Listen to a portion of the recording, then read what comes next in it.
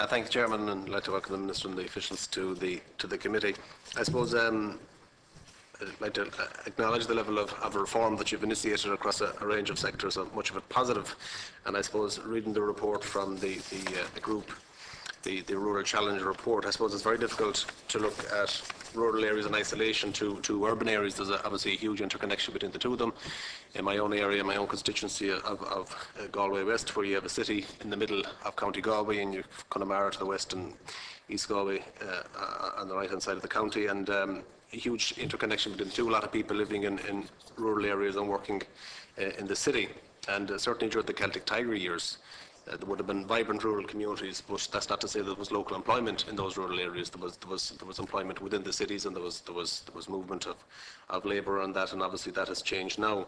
So it's it's, it's very difficult, and I, I, think that the, the report is obviously very much is, I welcome a lot of the initiatives and. and uh, proposals and comment in the report, but I believe there's there's still um, uh, we have to accept that there, there, there's a huge connection between rural and urban.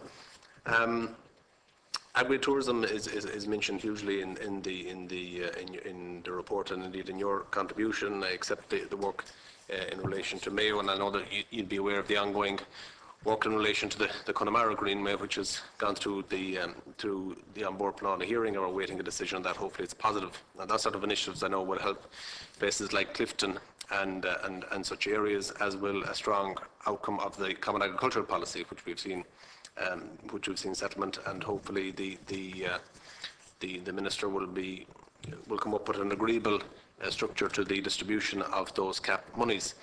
Uh, you will be aware, though, Minister, uh, the the concern in some rural areas regarding the changes to the leader structures, and um, I brought to your attention before regarding, for example, the the uh, leader company in Connemara, which is Forum Connemara, which has a long history since back to 1989, and uh, they're hugely concerned about the changes because that is the peripheral location. It's a, it's an hour and 10 minutes from Galway City, where the where, where county buildings are, and they feel that uh, the the changes in structures would lead to a certain amount of isolation, notwithstanding your your, your support for a bottom-up approach in any new structures.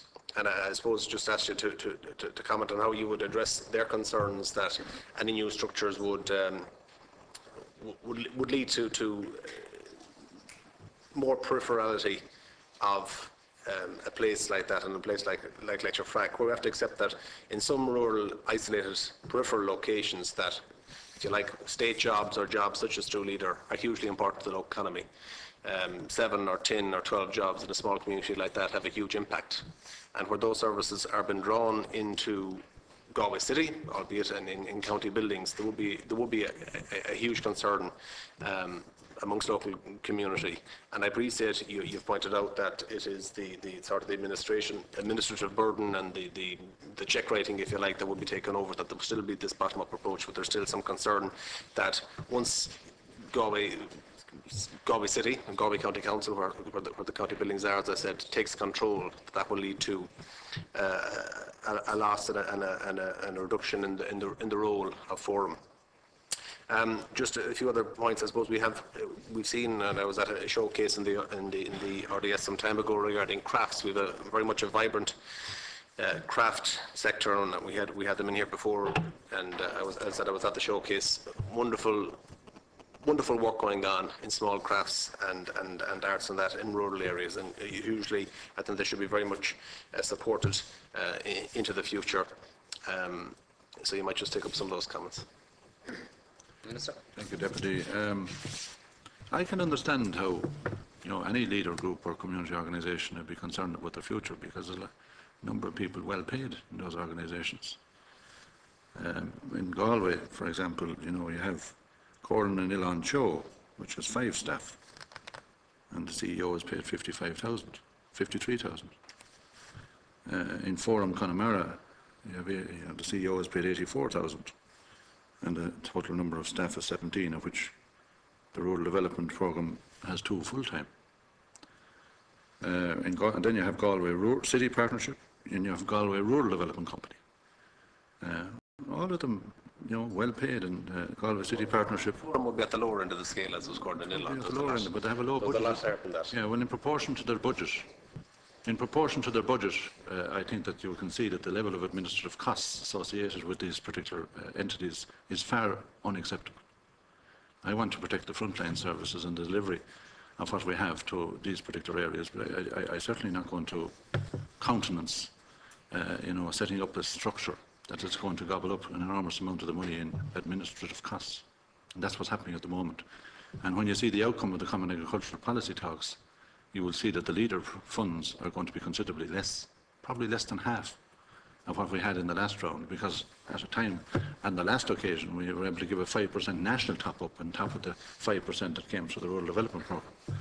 So we don't have the luxury, I'm, I'm afraid, of all the structures that we've become accustomed to under social partnership and under the, the good days. So we have to rationalise structures and we have to see how we can use the existing, other existing structures like local government to pay for the heating and the light in the offices uh, and develop a one-stop shop approach towards the community and economic development of those areas.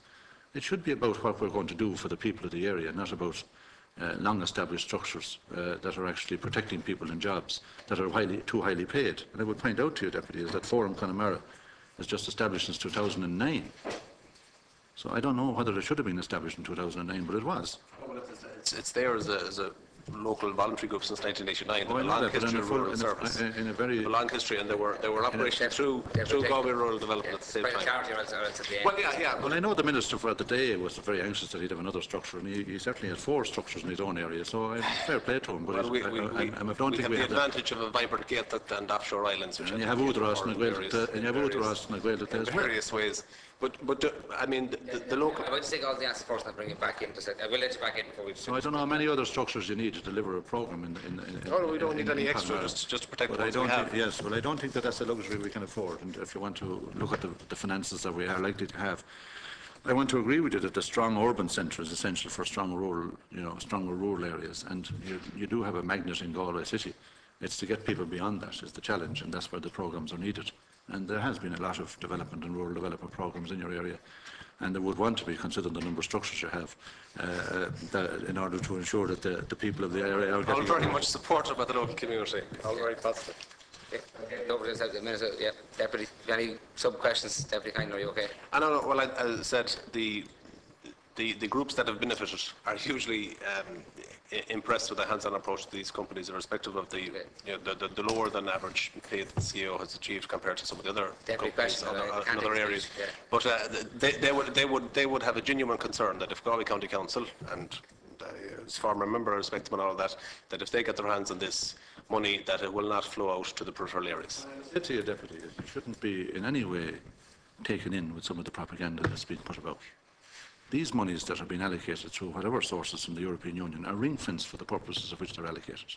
And I want to see the monies that are allocated going to the development of projects for the people, not in establishment structures.